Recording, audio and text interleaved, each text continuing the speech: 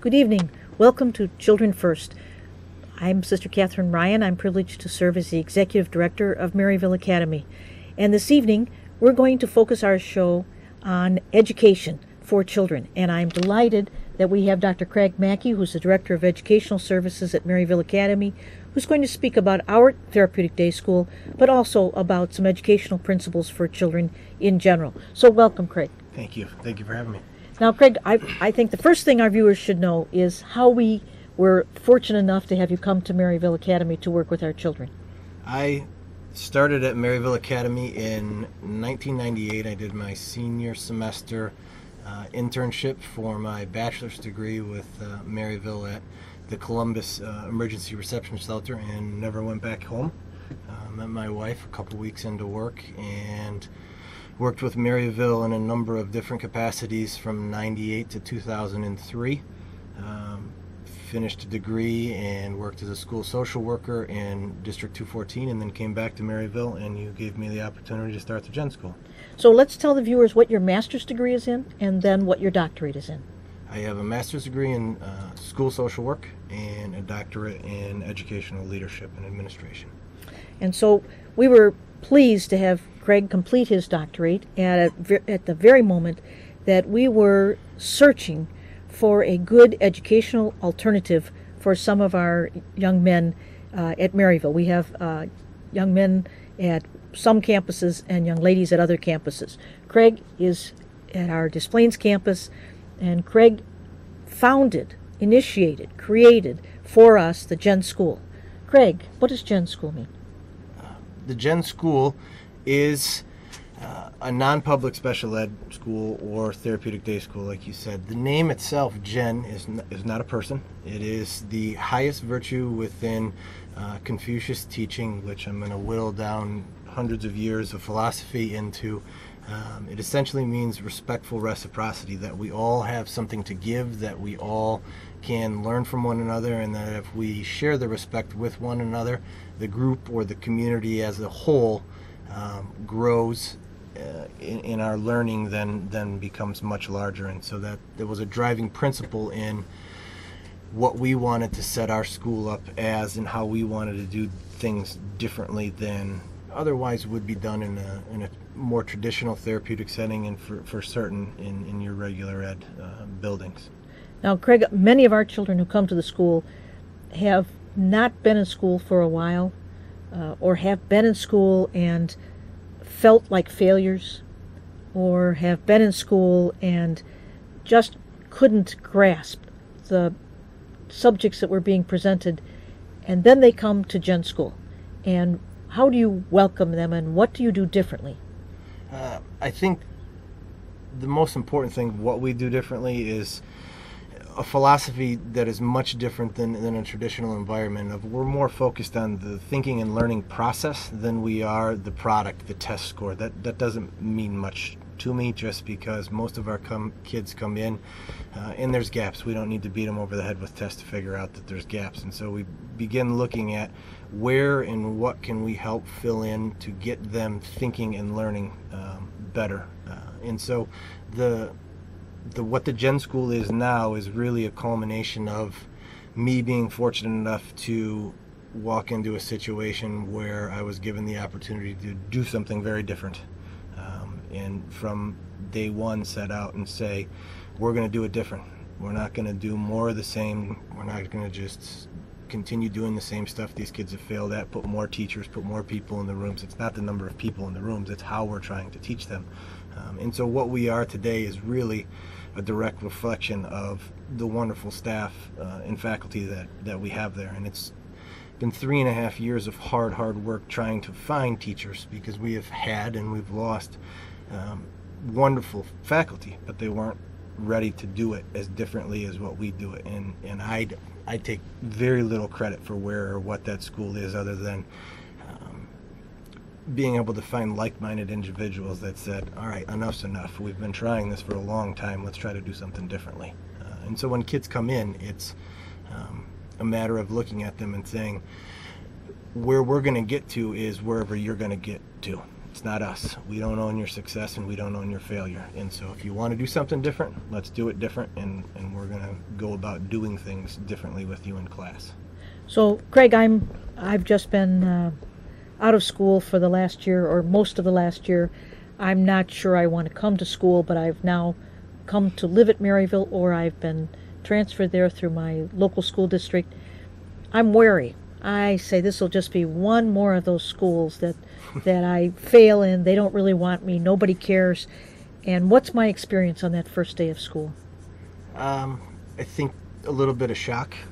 The, the guys that come in, uh, we are a male only school for a very purposeful reason. Um, and so a lot of times it takes time for students coming in to get over the fact that there isn't girls there. Uh, we also have uniforms, and so it takes a little time. But once they get past that, um, I think their first experience, and we've heard a number of kids say this, and it's usually about a week into it, I hear them say, um, I didn't know you were supposed to laugh in school. I didn't know you were supposed to have fun in school. And so each one of the classes is um, specifically designed for a particular age group of kids. And so we try to, is when we get into the whole idea, and like you said, of kids being out of school, credits make it a little difficult. A ninth grader, just because they're 16, doesn't mean they're a ninth grader. They need to have the credits.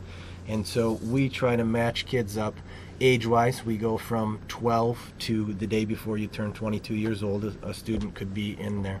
And then within the program, we have three different units. So depending on cognitive function ranges, disability types, we match them up with a particular uh, classroom. So we've got three different junior high classrooms. Um, there's three different sort of that middle 10th, 11th, 9th, little blending of both. And then we have more of your senior year where, depending on the level of the kid, they're working really hard on where are you going to go? What are you going to do? Job skills, uh, life skills, whether or not it's career or college readiness.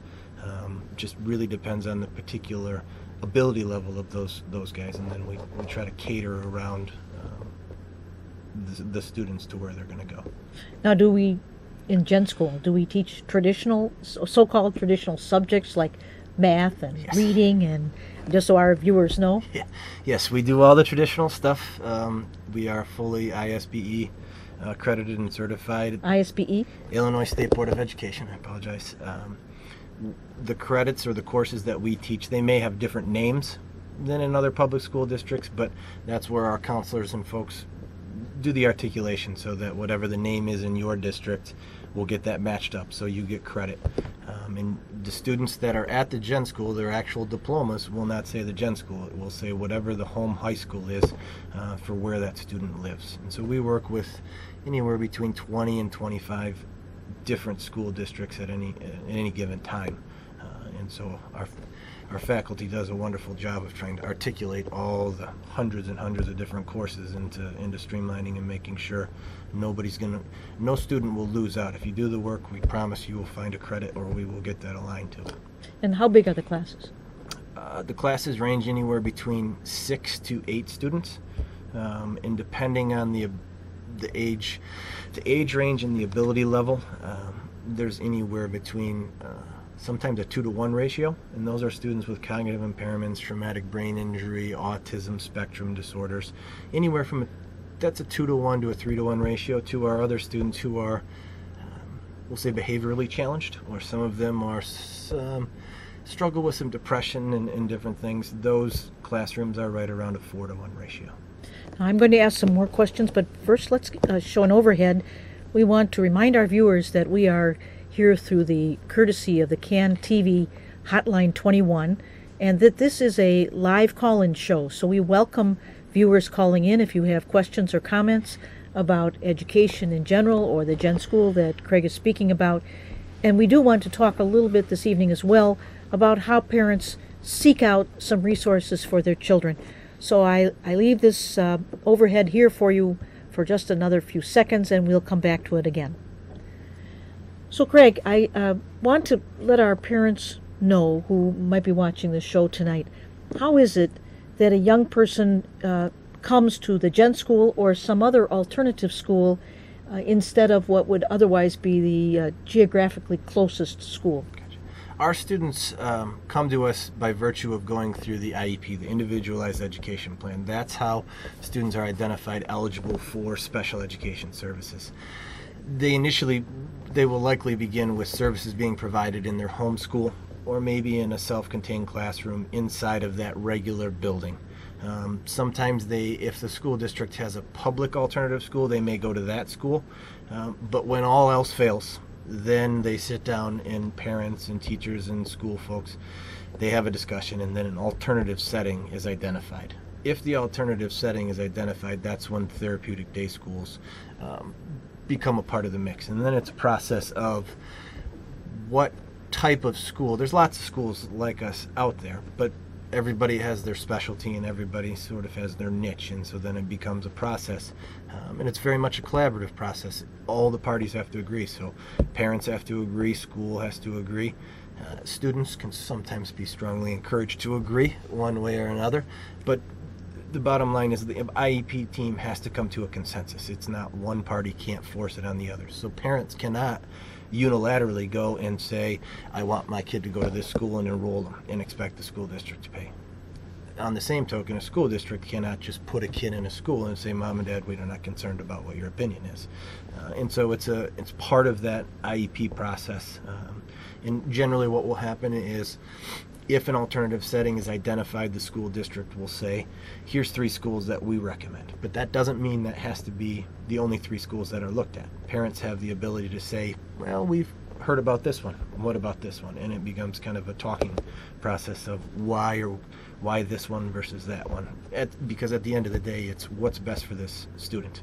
What's the best place to get that kid the service that they need. Do you encourage parents to go and look at the proposed schools before they make their decision? 100%, yes. Um, and the, it, you should be strongly encouraged by your school district, and I've not worked with one yet that hasn't said uh, a parent and a student tour visit is common practice. But what I strongly encourage outside of is if you're not blown away with any one of the options that you're given, and blown away positively. Yes.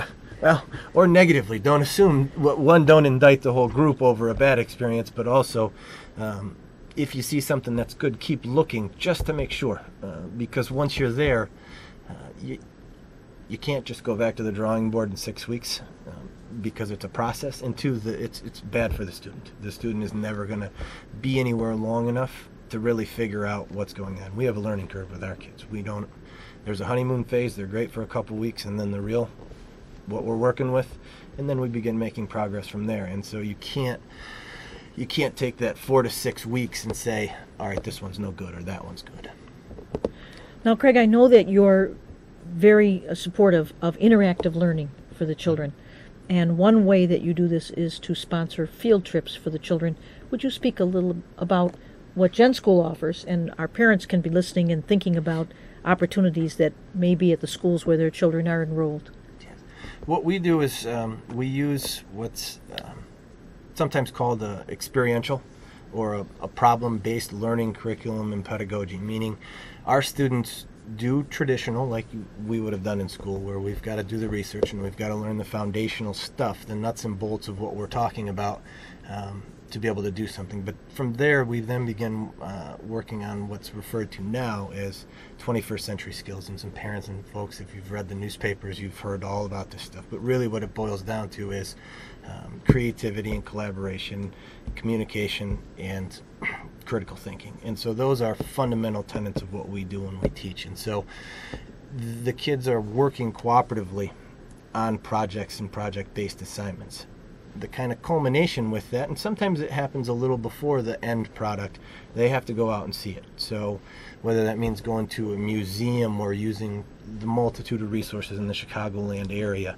um, they get out and do it. I, last year, I can't list all the places, but last year, as a school, I want to say we were right about 150 different field trips, and that's is, you know, as little as going to a business down the street for career-centered hey, this is what it really means to work at a factory level job. So if you don't think you want to work on an assembly line after seeing this firsthand, we might want to get more involved in this over here. Um, but at the same token, if that works for you, good for you. Then it was a positive field trip.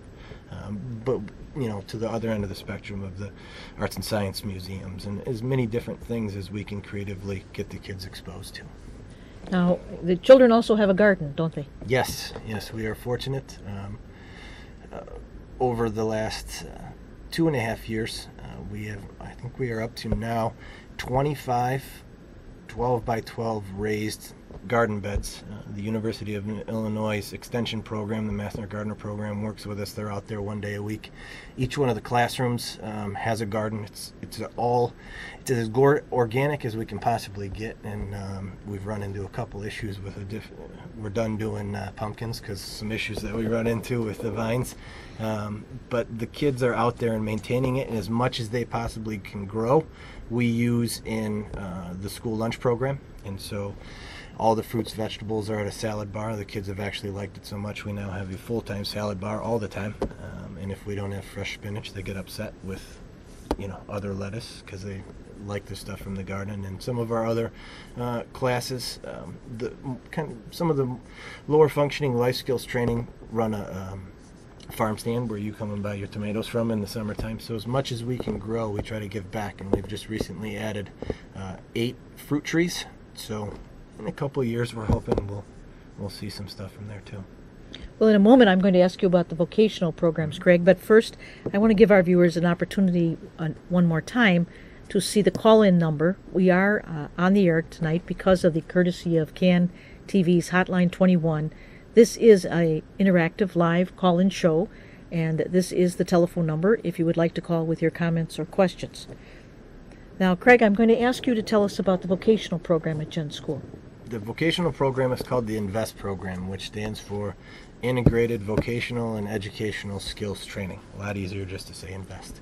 Uh, the INVEST program is um, in addition to our regular academic day, so from 1:30 to 3:45 uh, daily, students can then earn an additional credit per semester, and what that in- involves is two days a week they are in career-centered. Um, classroom instruction where we start with the presumption of nothing application filling those out all the way through taped video interviews to having to go out and um, they're going to do full research on jobs and what education and so forth you go into. And then the rest of the time they work in on-site work internships so they'll they we do all of our own custodial maintenance in uh, the school and the gymnasium and a couple other areas around the campus we have a recycling program um, and a, a, number of different things. So it's paid, and the reason that it's paid is because it makes it a whole lot easier to mm-hmm. work with kids and make the connection between money and budget when you actually have real money. But on the flip side, um, it costs them. So when they don't have their uniform shirt for school, it's either you can go home or guess what? We've got them for sale. And we know you work and we know you have money, and that's how the real life works. So if, you're not prepared, you need to pay for it. And so um, it's a way for us to make this experience real versus you know fake money monopoly. It just doesn't it mm. doesn't bring it home. But when it's when it's green like the rest of the money and it costs them, um, they begin to remember stuff um, and, and, come prepared for uh, school. And we want our children to be prepared because when they finish at Jen School, they're moving out into the work world if they've got the skills to to obtain a job and hold on to a job. So this is a very important lesson for them. Uh, would you like to say a bit about the part of the vocational program that deals with our vending machines? Yes, that's uh, that's another chance. It's a popular to, job, I know. Yeah, yes, it is because they get to handle all the money, but they are in, they are in charge of um, creating the inventory, counting the money, purchasing. The goal is to make money. All the money that they make will go back to uh, the students for more or less the fun field trip, not the direct learning field trip. So the the fun one that they get to choose where they want to go and what they want to do with it. So it's uh, it's been a definite work in progress, and um, I have to thank the faculty because this was a giant, an enormous job for them to take on in trying to coordinate all of this and figuring out um, you know, you'd never believe how many people have opinions on what should be in a vending machine until you ask what should be in the vending machine. And so they've done a great job of coordinating all of that and, and trying to provide the best opportunity for those students they can. Now, can some of the students progress from the these jobs that you described that are on the campus and displays to positions in outside entities? Yes, that's the ultimate goal. That's the you've made it there, and our job coaches are able to follow them then to there. So our our our goal for all of those students is to get the experience on site so that they actually now have work references that they can list. They will have reference letters that their job coaches will be able to provide them.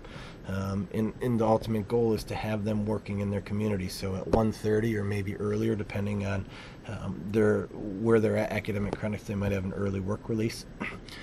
where they go to work and we'll mm-hmm. follow up and they're still able to earn some of those remaining credits um, to get them caught up and it, along with that, we also do um, what's called adventure ed. So we do high ropes course stuff, low ropes course. Kids are canoeing, kayaking, fishing, hiking, um, you name it. It's it's going on, and that's uh, provided as an alternative and a way for students. A number, a lot of times, our, a number of our kids are very behind in PE. It's one of the easiest classes to skip, and so. Um, it doesn't matter if you did everything else. If you don't have your PE credits, you're not going to graduate. And so we try to provide them alternative ways to get the PE in, in areas that we hope they could do this when they leave school. You can still go fishing. You can take your family someday hiking or camping. Um, and, and, a lot of what we do is, is team centered, so it's cooperative. They have to work with people and they have to work with each other uh, while they're doing those activities. So it kind of wraps the whole Jen philosophy back into it, but we have fun while we're doing it.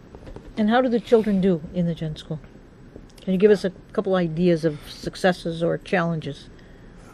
I think for the most part they, they do they do very well. I mean, we have our days. Every every kid has their day, but it's all it's a matter of um, and one of the teachers taught me a while ago it's about failing forward and so it's a matter of you're going to make mistakes, but can you identify what they were, what you're going to do about it, and make sure you don't make the same one twice. And I think for the most part, uh, a number of our students do that.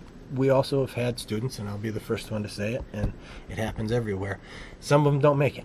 Whether that's us, them, there was just a choice that it just wasn't going to work. But for the most part, um, I would say the vast majority of our students um, walk away smarter. Maybe not on a test score, but smarter in the ability that they know how to think. They know where to go. They know how to ask for help. They know where to go to find help. And if you know those things, you'll be all right.